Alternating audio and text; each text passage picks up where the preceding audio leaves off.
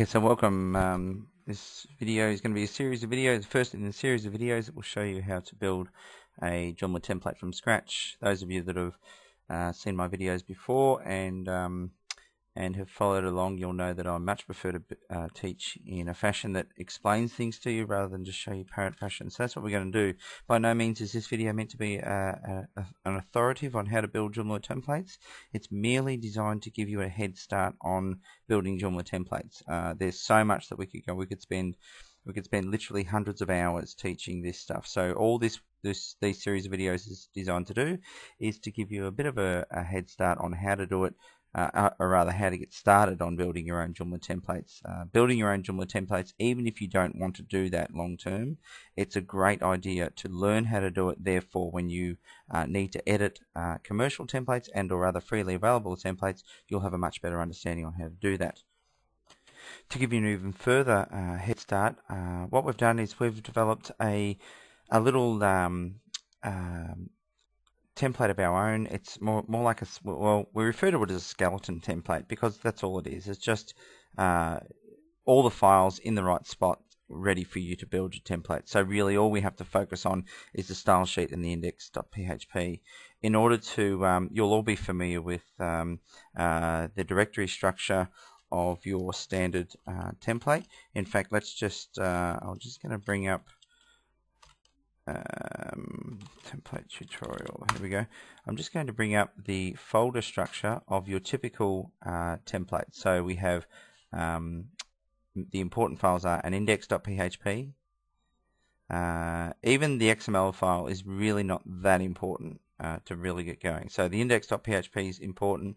Inside the CSS, you'll need some type of template.css. Uh, you'll probably need an images folder. You'll need some HTML folders. I'll get into that a little bit later on. Uh, and that's pretty much it. Uh, contained within, I'm just looking at the JA purity here, contained within the template file, file sorry, the index.php, you'll have links that shoot off, let me just make that bigger, that shoot off and grab the other style sheets. So down uh, lower here, it's quite a complicated one. We should see that there are other links to uh, here they are here. Other links to. It's probably more of a complicated one that I needed to show you. Let me just go up to the Beez template. Let's have a bit of a look at that and see if it's something a bit more straightforward. Oops. Let's make that a bit bigger. Uh, here we go. A link to the template.css and a couple of links here. So that's really all you need. So what we've done, we've gone ahead and made a skeleton sheet, uh, skeleton template. Um, so what we're going to presume is that I've already uh, set up a, I'm just going to get localhost.template, oops, sorry, template tutorial, and I've just installed a, um, a uh, standard install of Joomla. And you'll also notice I deliberately haven't installed the sample data. I'd like you to, it's a good idea to do that because that way we're starting from absolute fresh. Um, so what we need is this skeleton sheet files. Um, luckily for you, we've gone to the trouble of uh, on our site, which is uh, netreach.com.au, where we're um, uh, web developers and also Joomla experts. Uh, if you go forward slash, that's dot .com.au, netreach.com.au forward slash Joomla hyphen stuff, you'll find a very simple file in there, Joomla template skeleton. That's a zip file. You can go ahead and save that. And once you've saved it, uh, if I know where that went, it's on my desktop. Wherever it is. Computer's going a bit slow.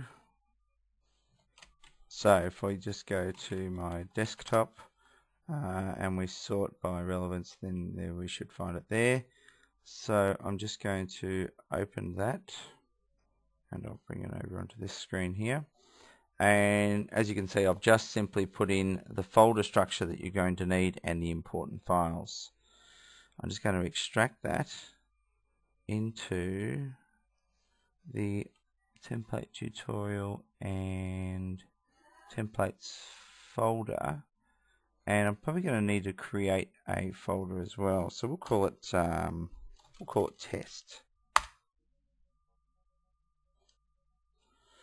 Now, of course, if you weren't uh, developing locally, you could also unpack this on your um, on your server wherever you're you're hosted from. Um, so now, if we just uh, go back to my template tutorial site. Actually, before we do that, let's just take a quick look at what's been extracted. So um, I'm just going to bring up uh, here and go down to template tutorial and into the templates folder and here it is here test so obviously I could name that anything I like uh, it matters not because all the links below it are relative to this folder anyway. In other words they're not absolute links. Um, and if they are we'll fix them. Okay so just trust me I'm professional. Uh, a few things you can change is in the XML file if you just want to go and edit that with um, NPAD2 and you'll see that some of my stuff is here and you can change this here. So we can call that our test template we go just like that. And it's got all the files in here. And as I said that's really not as important as the other stuff. So we'll just save that. Uh, and I'll just make sure that I was telling the truth with the relative links. Yes they all look like relative links which is good. And the index.php, just open that once more, as you can see, it's just a very, very simple file. There's nothing in here at all. Okay, so now that we've uh, pretty much installed that, let's go to our administrator uh, area. And we'll go and log in. And when I now go to extensions and template manager, I should find that there's a new template called test template and when I put my mouse over it you'll see it's just got our little logo there and you can even put your own in there later on if you like so I'm just going to make that as the default. And now I'm going to go and preview the site and we'll see what we get.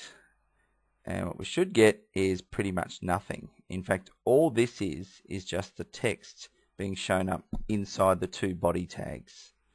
So let's have a bit of a closer look at that. I'm just going to open up Dreamweaver here. And my template tutorial. Here it is, test and the index.php. Uh, look at the code view. And here we have and those and as I said a few assumptions at the start of this video. You need to have some understanding of HTML and uh, and CSS so those of you that have some understanding you'll see opening body tag. Template stuff goes here, closing body tag, that's all we have at the moment. Okay, so what I thought we'd build is a pretty standard um, template that has a header at the top, a footer at the bottom, and two or three columns. We'll, we'll just start with two columns, I think. Uh, in fact, you know, we might even, uh, maybe we'll even do a menu bar underneath the header. So we'll do a header, a menu bar, so pretty much it'll look like this. It'll look like a header, uh, menu bar, uh, left side, um, then uh, body, uh, then right side, and then footer. So that's pretty much what we're going to have. Okay.